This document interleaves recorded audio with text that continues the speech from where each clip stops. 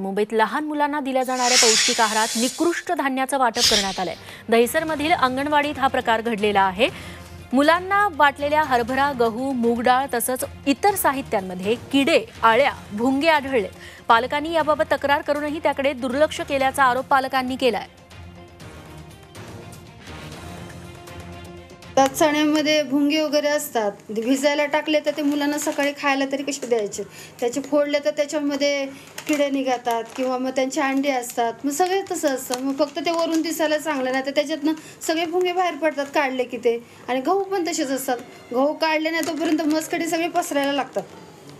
मग काय करायचं? मुगाच्या मु त्या मुगाच्या डाळीमध्ये तर ती खाण्यासारखी पण आहे. सगळा चोथा असतो त्याच्यामध्ये. पूर्ण त्यात मिक्सिंग आहे किंवा काय लहान लहान दगड आहेत की ते साफ केलं तरी ते तसंच लागतं. दुसरीकडे मुख्यमंत्री उद्धव ठाकरे हे या हिवाळी अधिवेशनाला उपस्थित नाहीत. हा मुद्दा देखील भाजपनं हाती घेतला. मुख्यमंत्री पदाचा कुणाला तरी पदभार द्या. मुख्यमंत्री पदासाठी रश्मी ठाकरेंना शपथ घ्यावी लागेल असं वक्तव्य भाजप प्रदेशाध्यक्ष चंद्रकांत पाटील यांनी केलं आणि त्यामुळे दुसरा वाद झाला. मध्ये रश्मी ठाकरेंना का आणता? अमृता फडणवीसांना विरोधी पक्षनेते करणार का? असा सवाल विचारत महापौरांनी चंद्रकांत पाटील यांच्यावरती टीका केली आहे. ते की दोन वर्षापूर्वी मेजॉरिटी नसतानाही कृत्रिमपणे मेजॉरिटी निर्माण करून उद्धवजी मुख्यमंत्री झालेच ना?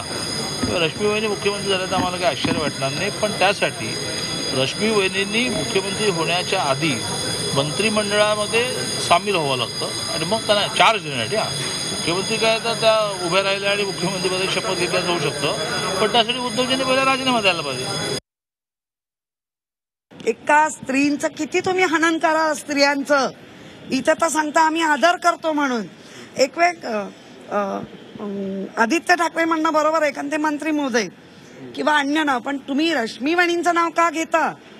त्या कधीच नसतात. तुमच्या बा- बाई आहेत ना फडणवीस बाई त्या आता लाइटमध्ये मग त्यांना बनवा ना विरोधी पक्ष नेता.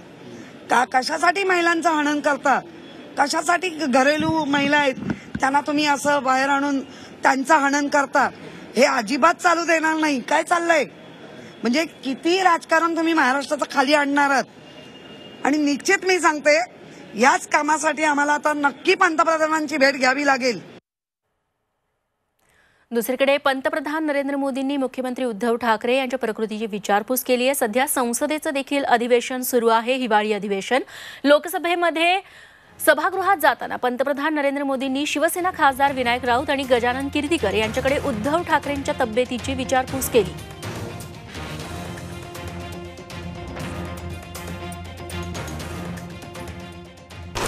लाल मातीतली कुस्ती. म्हणजे